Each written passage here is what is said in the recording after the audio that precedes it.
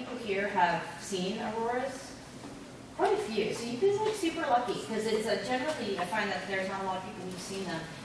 And I don't I don't know if your experience is the same as mine. And I will talk about what you see when you don't um, when you go out because when I first did it, I actually went with my mother the first time. My mom's here in front row. She's visiting Mother's Day, and um, we went to Iceland uh, for the sole purpose of going out and finding the aurora. So we went in the dead of winter, and you start asking people, "Am I going to see this?" And they're like, "Oh yeah." It's easy. You know, it's always out. And you're like, okay. But nobody tells you really what to look for. And what your expectation is, is this green light or some version of this. And it probably was a couple days in before we realized we had been seeing it, but it wasn't, it wasn't green. It resolves green in the camera um, and other colors in your camera. And I'll talk about why I think that is in a little bit. We'll talk about, you know, what the lights are, kind of how they're created, it's also kind of interesting to understand the different, the, the different aspects and different wildlife behaviors and things that happen. So we can cover a little bit of that, um, and we'll talk about the overview of the process for, of the displays and how they're created. We're going to talk about when and where you can see it. So basically the northern latitudes, or if you're in the southern hemisphere, the southern latitudes, um, in the colder months, you need a dark sky. So that's not to say that this isn't going on all the time. It is, you just don't have the benefit of seeing it in the middle of summer. This was actually taken at the top of Chena Hot Springs outside of Fairbanks. It's about an hour and a half outside of Fairbanks. And the mountaintop is completely uh, being lit by almost a full moon. So it's interesting because some of the photos you're going to see here, the foreground is going to be very dark, and that's taken on a no moon. And um, I've come to actually like about a half moon. I, I like that light because I can get real foreground and real detail without having to make the image noisy to do it. Um, and I don't have to have the ISO up as much, and there's a whole bunch of things that happen um, quite nicely when you have a full moon. So although I know a lot of what you guys do, you look for no moons, a lot of what I do for my star photography is no moons, I found that uh, the moon adds quite a bit of um, attraction. Particular image um, this piece of it here, if you can see the red dot, is is probably a, a pew screen. It's really a green color to your eye, especially once you've been outside in the dark long enough, as you know, your eyes adjust, you get to see more. Um, and then this up here is probably just a white cloud uh, and some variation in the middle. So it just really depends. And that's the point. When you go to stand outside and see this, it could be really happening right above your head and you might not know it. You might just think that's a cloud. And, it, and it's not until you really pay attention to the fact that that cloud is moving and wiggling and changing shape that you realize that you're looking at your aurora.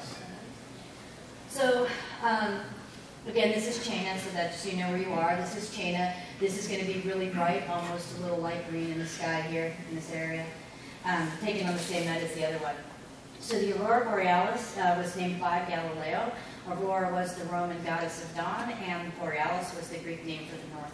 So that's the genesis, my understanding of the genesis of the name. So uh, essentially, what happens is that the sun ejects solar gas and cloud, uh, clouds of dust. And so you sort of see the motion here. I know you guys know about this because you're looking through your telescopes and whatnot.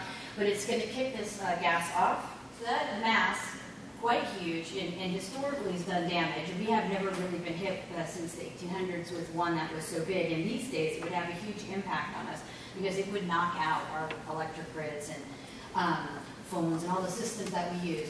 But we're protected by that from our, by our atmosphere. Two trillion tons is, I mean, there's no real way to wrap your brain around what that looks like.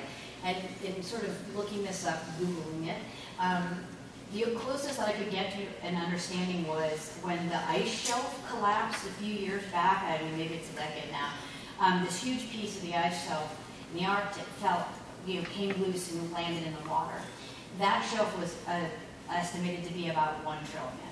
So that's huge. It was a huge dramatic event, and that's like twice that coming at us through space. What ends up happening is that those, uh, the, so the solar gas comes off and comes into the atmosphere, and it starts to interact with our atmosphere. The particles are coming in on this side, and then it comes in and it bends around and then it snaps back. And as it's bending our atmosphere and it gets kind of on the other side of the planet, when it comes together, part of it is sucked back towards the planet. And that's what's throwing the uh, kind of the gases to the poles, and that's why these things in the, the you see the auroras on the poles. The particles are colliding with oxygen and nitrogen, and that's actually what's creating the color. Auroras are not unique to our planet. They happen in Jupiter. So here's an example of that taken from the Hubble space. They happen in, on Saturn, so this is a rendition also from the telescope. That'd be really kind of cool to see. I'd like to, I'd like to see uh, Saturn up close and personal, actually. Um, I think it would be neat. Uh, so anyway, so what ends up happening is that the particles uh, kind of interact with our atmosphere, and depending on what's being charged, um, either ionized or excited, gives you the color, and it really will range the entire spectrum, uh, depending on the activity. So oxygen and nitrogen are your two main particles in the color spectrums, or whether they're excited, excited or ionized. You will see purple, and you will see red, and you will see pink, just depending on how these things are interacting together. Green is the most common color. And it has to do with the number of collisions and, um, and the, that happen and the frequency of getting the displays and how much brightness that you're going to get. 60, 70 degrees uh, in the latitudes is where you are. You'll see that um, this is Iceland, this is the tip of Greenland. Um, and it kind of moves around, it, but it doesn't stay at the top. It, it, during the whole night's, the trajectory of the night, that oval sort of moves and comes around and then goes back out. So it does change but this is a general idea. And this is what would be considered a fairly normal uh, banding. So a normal banding here might take you through this area. So here's Fairbanks. Bettles is where I go to shoot. Um, generally, that's where I am. You'll see that it'll come down into Talkeetna, and then these are, this is a, if it's really active, you'll get to these outside wider bands, but you're not going to get as much activity. So when we go to do this on a tour, we are we go and stay in Bettles, which is almost always right in the center of the sun when it's passing through. Both in the north and in the south of Iceland. Um, honestly, like if you're going to go, Iceland is a beautiful place to go at any time. It's an incredible country. But their winters are more fraught with weather than Alaska. So when you get up above the Arctic Circle, um, Bettles is really dry and it's really pretty landlocked. And so at the end of the day, on a cold night, you don't get a lot of water vapor and anything else in the atmosphere to sort of get in your way. In fact, a 20 degrees, a zero degrees, that's almost too warm. You really want to be well into the negatives that because that, that's considered warm there and you will get fog. Um, because Iceland is an island, it gets weather, and it is changeable weather, but it's a lot of weather, and you, you spend a lot of time trying to run around and get out of cloud cover uh, to catch it. Um, you can see that it's passing though through the top here of the Norway, Finland, Sweden area, and then parts of Russia way over at the top of that too. This is an Icelandic aurora. Um, so we are, if, I'll go back really quick. This is the West Fjords. This doesn't have the shape, but basically the top of Iceland is like this. There are all these fjords. And um, so that's across here. We were standing up here, and we were probably 30 miles from the Arctic Circle at the highest point where we were in Iceland, with my mother and I saw them. In Alaska, we're 36 miles north of the Arctic Circle, so we're getting further into the band. And so that's what it looked like. We were on one fjord shooting across the water to the other um, and it was coming out, out of this little island right here that looked like it was spinning it out. On this side, we had this shape. If you looked over at our left-hand shoulder, though, we had a whole wall of like red. So this, the coloring that you see here was just a sheet. There was no real definition in the aurora When you go out to see it, you end up with um, what looks like a white contrail, right? Especially early and it, could be really active. Sometimes it's active at 9 o'clock, sometimes it's active at 2 o'clock in the morning. It's just really random, and there's no real predictor of it. Um, you've got to have to pray to the sun gods, basically, to, to give you a good activity two or three days before to get a really great activity a couple months later. Um, but what you end up seeing is like a, it would look like a contrail maybe. It would look like almost just wispy high cloud and so for me, and, what happened with us is that we'd see it and it just looks like high, thin cloud. And if you're not taking the time to stop and really look, you wouldn't, you wouldn't see it at all. Now, finally, after a couple of days and having Icelanders tell me, well, yeah, it's easy to see, and we had clear night, so it didn't make any sense that we hadn't seen it at all. I finally stopped the car in the middle of nowhere and took a photo, and it was green. So I was like, I'm sure we've been missing it for days, but, but nobody tells you it's gonna look white, so you're not, think, you're like, where's that? Where's this color that I wanna see? And unfortunately, that's not what you're gonna see when you stop. Um, so here's my theory on why, right? Rods and cones. So you need, your cones are what going to capture light, and you need light to be able to do that. And the dimmer the light, the harder it is to discern color. Your rods work at night. That's what gives you your contrast. So that's your black and white vision, uh, what you get from black and white vision. And at night, because you're not getting enough light activity, you'd be hard pressed to tell if I was wearing gray or black or blue in a night sky, uh, or in a night foreground or whatever. You'd be hard to tell that. So when the aurora first starts, if it's not super active, you're not getting really enough light to trigger your cones into action to see what colors are coming out. Now when it's super active and you get these really hot spots like this, that's giving off enough light that your eyes collecting the information and, and returning color to you. The reason I think a camera is different is one, your, your eyes are seeing instantaneously, right? So you're seeing just a, a moment of time a fast moment of time, where your camera might be taking two or three seconds, four seconds of, of accumulating light into the sensor, and so it's being able to resolve the color that you're not picking up. So I do think that that's the reason. Um, when it gets really active, like there was a squiggly one that I had in the beginning, when it's really active like that, and your eyes are starting to adjust, and you've been outside for a couple hours, you will see more and more activity, and you'll be able to discern, you'll be able to look at it and go, that has red in it and then you'll take a picture of it and you'll see red. So I think that that's a big part of it, um, but it is deceiving. And I've had a lot of people say, well, I went to see it, but I didn't see anything. And it's, uh, I think you probably did, and you didn't realize you were seeing it because everybody sees these shots and they're all green and pretty, and they expect to walk out or step out of the restaurant or get out of the car and see a big splash of green, and it just doesn't happen that way. So if you, if you are going, and you're not going with someone who can point it out to you, right, and say, okay, that's it, keep an eye on it, then know to look for something that just doesn't look normal. And for us, the cloud that was white started to shift and change. And so you'll get what looks like a contrail, but suddenly it's a snake, right? And then it's like a heartbeat. And you're like, okay, that's not a that's not a cloud, because clouds just don't do that. So then you start to realize you've probably seen it. Um, so types of displays, um, so there's arcing displays, and these are, some of these are kind of just known around, uh, as, you know, the terms are sort of known, I don't think that there's a rule, but you'll get these arcing displays that really just kind of cut, you know, cut a huge arch through the sky. Um, but as you saw in my video, they come and they change and they, they manipulate, they don't stay any one thing for very long. Of just activity, and they don't it's not all of one. That's what I'm saying. It changes and it will do different things. And it can last for two or three minutes. It can last for two or three hours. They come and go. This thing can completely shut off like a light switch and hours later come back out. Um, it is, it is very imprecise. when you look at the Aurora apps, and even that, when you're in Iceland and when you're everywhere, and you're asking people about what's the status and what's the likelihood and is it going to happen, you know, they'll come and tell you, well, the app says it's a two, so it goes one to nine. And they'll kind of say, well, like, it's a two, you know, you should probably sleep. And, you know, so in your head you're thinking, okay, well, when's it going to be, on my trip, am I going to see a four, five, six, seven? And they're very rare. And this is a set, like a five, five or six. So it's interesting because there's this big push to say, well, two isn't worthwhile. But this is like a two.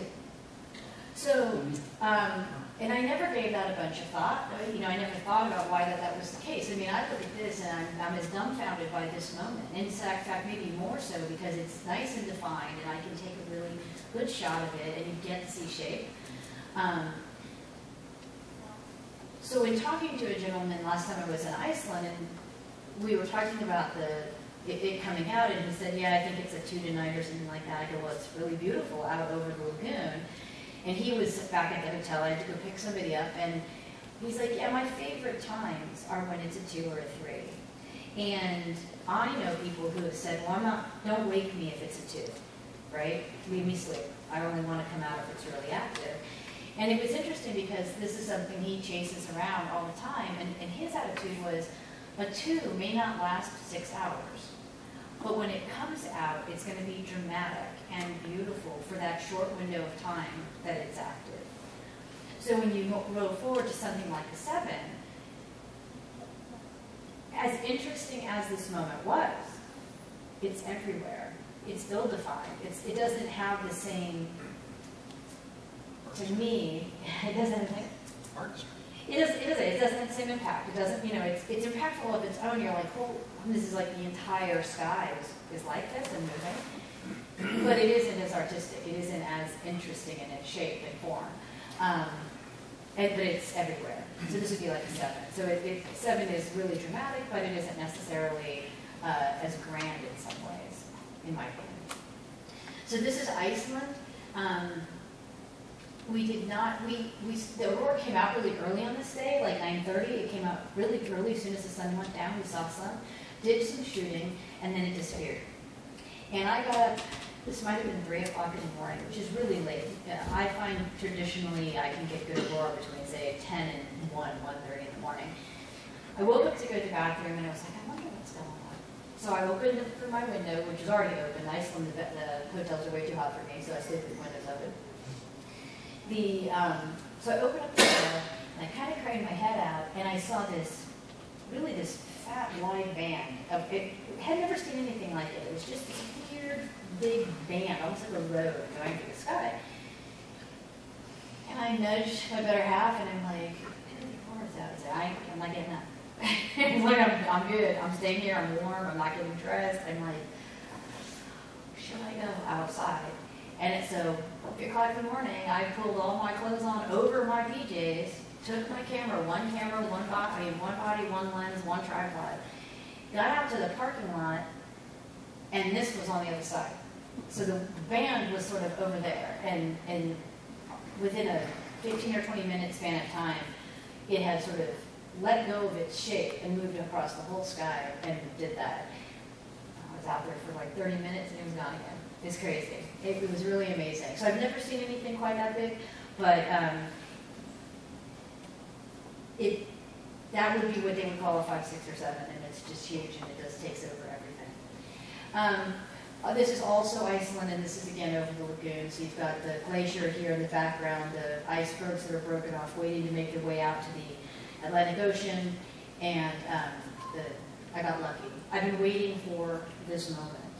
Um, the one thing that I haven't been able to get in Iceland yet is actually over, if you've seen these um, beautiful, they're called, it's called Diamond Beach. That's the nickname, but it's the beach that these uh, bergs make their way out, they hit the Atlantic, churn back up and get thrown back and stuck on that sand. So it's a black sand beach and usually some really beautiful polished ice. I've yet to get a decent aurora actually out over the ice.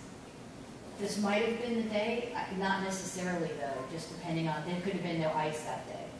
So the ice isn't hundred percent guaranteed. Um, But anyway, so it's a beautiful location, it kind of felt dragging to me when I was standing there. So some of the concerns about shooting this, so this is really, I think, the challenge um, in general when you're out shooting. Uh, It's cold, really cold, super, super cold. So if you think it's cold here at 32 degrees on a bad day, the best ones I've seen are negative 38. And there's just no way to relate what negative 38 feels like when you go outside. Um, so that's one thing to think about. The best ones uh, happen at the very lowest, coldest temperatures. And um, most of us don't own the gear for that. I, I don't mean like necessarily the camera gear, I'll talk about that in a second, but we don't own the like clothing gear. And so, so I pointed out the yurts, right? I, I, I told you about the Aurora Lodge, I showed you the yurt for Sven, and then at the top of Chena Hot Springs, those photos had a yurt in it. When you go to do this, it's important to know where you're going. And if you're going on your own, it's not that you can't find those places and get there. But if you're going with somebody, like we go with us or another group, then you know somebody's going to be kind of protecting you. If you just get out and go to Fairbanks and jump in the car and head out the Steese Highway, you know, you might be out at negative 38 degrees, um, which can get dangerous quickly if you're ill prepared and not have a way to get warm. uh, other than the car, which if it's been turned off a while, it's gonna take you some time. Um, so it's good to know where you're going and make sure that the place that you're going to can help you, uh, protect yourself. Um, the yurts are really great. Uh, they they are a way, but the problem with the yurts is that they're extremely warm inside, and going in and out creates sweat. But if you take your gear in and out, you've created damage. So you're tend to, you know, you have to leave your gear outside while you go in to like warm up. Um, there isn't anybody, unless you're an extreme explorer, we none of us own the clothing for this, right? It, you're talking about extraordinarily heavy clothing. Um, not even the stuff that you see on, on the guys riding on the um, sleds in the Iditarod. It's still not even meant this. They have multiple layers. So partly, partly is going to a place that might be able to help you accommodate those needs instead of trying to buy it all for yourself. Because this is this isn't going to be your hobby, then you don't want to have to invest in the you know seven hundred dollar uh, thick Eskimo coat that you would need. Um, where we go in Bettles, they actually have clothing available. So you come up there in your ski ski pants and your ski parka and your negative 25 boots. And first day out, you realize I need a different coat, I need different overlay of pants, and I need negative 60 boots. So, um, and the neat thing is, is they have a whole array of, of clothes and sizes for people. So it's important just to think about that. If you're going to go make a plan for yourself, do some research around uh, if you're going someplace that can accommodate the need that you might have. Um, because I think that's the biggest challenge. So unless you're prepared properly, um, it can be potentially fatal, not just uh, harmful to you. Frostbite's obviously a given. You're touching metal cameras, metal tripods. Your hands get cold very fast. Um, if you take your gloves off to manipulate your camera gear, um, so that's something to think about. Definitely dressing in layers, uh, mittens, hats, hoods, balaclava. Uh, sock, you know, wool socks. I actually wear a, um, elect, um, battery operated vest that gets hot. So that's the bomb. So I wear, I might wear a lighter uh, layer, like a thin turtleneck, like a, a silk or something, and under, like almost like under um, underclothes. On that though, I have a heated vest underneath all my overlays. So I, that way I keep my cool warm. Um, ice cleats, especially if you're not in a place that's super dry. So um, up in the above the Arctic Circle, you don't get a lot of water. So you, it's it, the snow is pretty easy to walk in, especially it's not well traveled up there, so it's not packed. But if you're going to be other places, um, you know, make sure you have some ice cleats because the last thing you want to do is take a header while you're out there. I will tell you, I now have like six different uh, kinds of boots. Started off with negative 25, went to negative 40, a couple of pairs of those because they just weren't finding that they were doing what I wanted. And this last trip, I had I bought a pair of negative 60. Now I've done that because I go almost every year, um, and for me it just made sense to try to find the boots that I wanted. The uh, for everybody else, it doesn't make sense to go to that expense, and so Bettles actually like has boots of all kinds of varying sizes those too. They're called bunny boots. They're not super attractive. You know, you're not going to steal them and take them home, but they will keep your feet warm. And what they end up doing is getting a lot more distance from the snow to you, and um, layers of socks or putting like newspaper in those with uh, underneath, uh, inside, like either under the sole that it has, um, so that you again putting distance between you and the snow but nothing's going to keep you warm standing, standing still taking a picture and or watching. You know, you, you have to move around to stay warm in this environment. Um, if you're going to, um, if you're going to do this and you're going to be someplace remote, you know, make sure that people know where you're going. Uh, either tell the hotel you're staying at, you're heading out, you know, what you're doing in the direction you're going to go. That way, if you don't come back, say something does happen, um, that somebody will know to look for you at some point. And super remote, you can do uh, cellular phone. But because in a place like uh, Bettles, again, there is no communication. So Iceland, you have a little bit of chance of getting cellular out at the um, at the lagoon, or up in the north. You're never very far from a, a, some small town, but Bettles, they have nothing. The only phones up to that work is uh, cellular phone. So you have to make sure either that the lodge knows where you've gone or they've dropped you off or they're putting you, because there's a couple of different, they have a warming hut out by the lake and then you have the lodge that you can always go back in if you stay by the lodge. Um, But if you were to really go off on a hike to go get something different, which is okay, you just need to let people know. Photography standpoint, uh, these are the, generally the exposures you're gonna want. Obviously, the more moonlight you're gonna have, the shorter those exposures can be.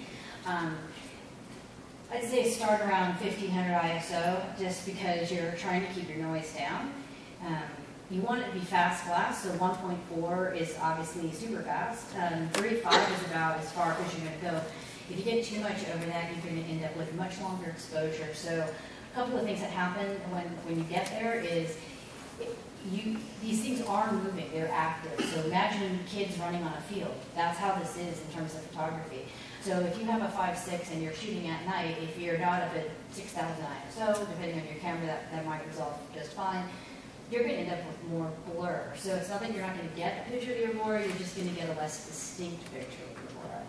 Um, so what you really wanna try to do is keep it from a second or two, which requires you to have a, a wider aperture. So one four, one eight, two, two eight is really where to be.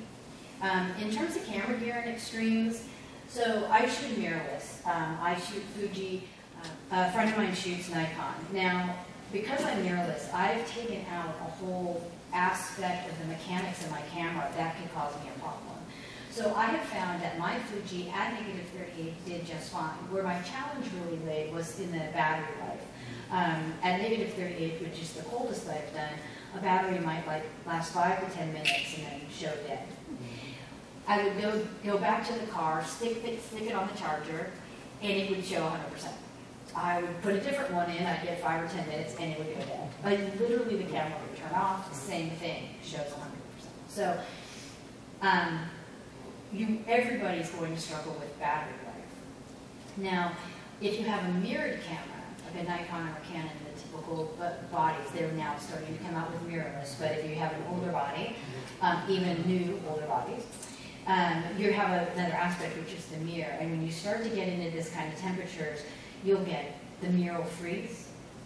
Uh, it'll get stuck. You'll start to hear, uh, Jim's had a problem. I haven't had any problem with my lenses, but he's had heard sort of glitchy, grindy, you know, camera shot on its own without him touching it, kind of weirdness in the electronics. So somewhere between zero degrees and say negative 20, 25, most of these cameras do pretty well. If you actually check them out, they're going to tell you they go to negative 10. So the manufacturer is not going to back you up on that. But we've never had any trouble, and none- none of our people have had trouble. Um, but when you really get into the extremes, you'll start to see some issues that can make this even more challenging. Um, they do make warmers, so they make these wraps, they're barrel wraps. You can put them on the lens, but in, for me, and, that's usually done to keep um, humidity and steam off the lens. I actually bought it for myself uh, so I can wrap around the base of the camera, where it attaches to the tripod, which is where my batteries sit, to try to keep that warm. And um, we call them bricks, but basically Anker has, you know, a big fat battery that you can charge. I hung that off the tripod, hooked that up. That's how I plugged in the, the rack, and to use that to try to keep things bit warmer. So there's some things you can do um, to try to benefit yourself there. You'll obviously want a remote trigger. Um, you don't want to add camera shape to your camera by pressing on the shutter. Uh, so I use one that is uh, wired. I don't like wireless remotes. I find them too inconsistent. I don't want to. Being a night sky where this is active for a while, this might not be as much of an issue, but I don't like hitting something that I think the shutter's going to go and that connection doesn't happen and the shutter doesn't trigger. I just, that's frustrating. So I use wired, uh, wired remotes, but gets my hand off the camera. And mine is built in, my camera has a built-in intervalometer and my remote is an intervalometer, so I can choose either one to get the shutter going. And I will often have two bodies and potentially two tripods, it just depends. Um, but I always have a second body because I don't want to get up here, have something happen and damage the first body and then not have an opportunity to shoot, so I do carry two.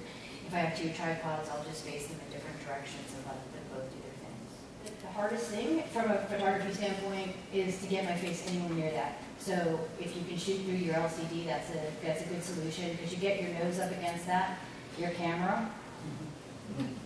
You're like- It feels like you've been burned. You're, oh, okay, that's better. You know, so it's, it's very unpleasant um, when you've been out there like that. That was what I was going to say. So go back to the yurt. It's One of the things, so that goes to this. So this is that same yurt. This is Sven's yurt. Um, these are the guys coming in off of a night uh, dog sledding trip uh, where they were out, uh, not our group, this was just another group of people that Sven had up in the property. But they had taken the dog sleds out to go watch the aurora, and I happened to catch them coming in uh, with Sven and his headlamp.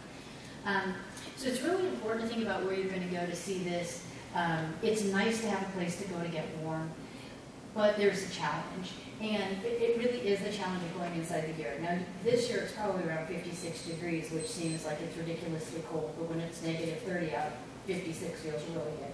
So, um, but you don't want to take your gear in and out.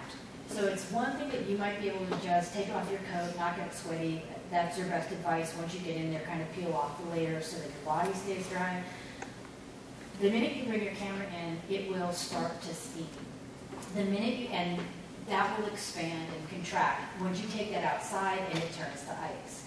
So now you've really caused yourself some harm.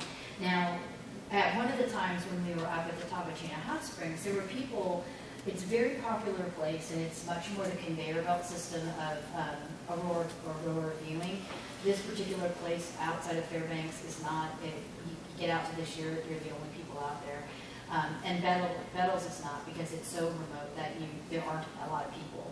The Chena Hot Springs, um, they run four of these like pods up there, and each one has like 12 people, and then they have this, you know, one or two yurts depending on the day. So you have a lot of people. It's not that you can't get away from them. You didn't see maybe one person in one of my shots there. It's not that you can't get a foreground without people, but there are a lot of people in the yurt, so it's ridiculously hot. And what happens is people in the yurt, the, uh, Chena I have found are not true and dedicated to the cause, right? The people who are going there, it's like the Disneyland of the Aurora viewing. And so they go, they wait for to see people scramble out, and if people don't come back, then the whole yurt clears out. And everybody will go see it, 10, 15 minutes, and then they all go back to the yurt. And when you go to Chena Hot Springs, you commit to four hours at the top of the mountain. So you either go up at nine and come back at one, or you go up at 10 and come back at two. But you don't get to mix and match. You don't get to go at 10 and come home with people out at nine. Like they're very particular, and um, that's the only way, how the only way they can keep track of. They haven't left somebody at the top of the mountain at the end of the night, so that you have to go with the people who came home. Um, and you're up there for four hours. So if you're like us, we're out there until toes are falling off. Like we are dedicated, we are waiting, we're checking. If there's nothing going on for hours, we might go in and get some tea. But if it's going, we're out there until we cannot bear it any longer.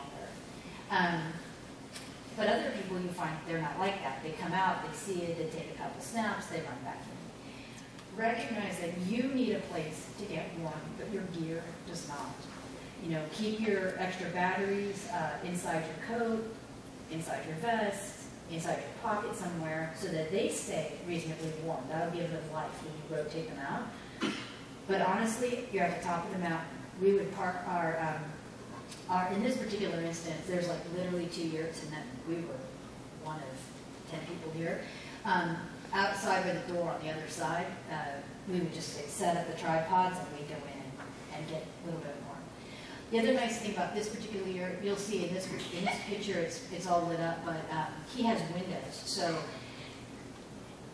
when, when we stayed with him, you could conceivably not even go outside. If you just wanted to view this and not shoot it, but you wanted to have the experience of it, you could actually sit in here and enjoy the show. Tapachina Hot Springs, those yurts are all heavy, thick canvas. You can't see through them. So you have to, either going to sit there for four hours and go and peek outside, um, but to, to see it, you're going to have to go outside and experience it.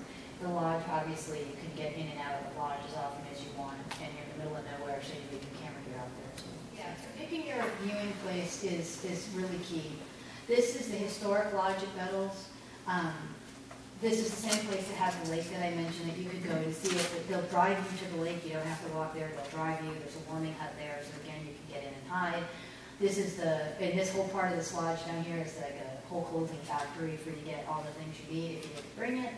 The challenge about staying over by the lodge, not so much that the lodge gives off light, I mean, in this photo, I'm facing that way, but, um, there's a weather station in Bettles, and it had, and an airport. Bettles, if you actually look it up, it's called Bettles Airport. The whole town and the purpose of the town is an airport, uh, for people who are stopping on their way to get fuel to and from the North Slope where they do all the oil.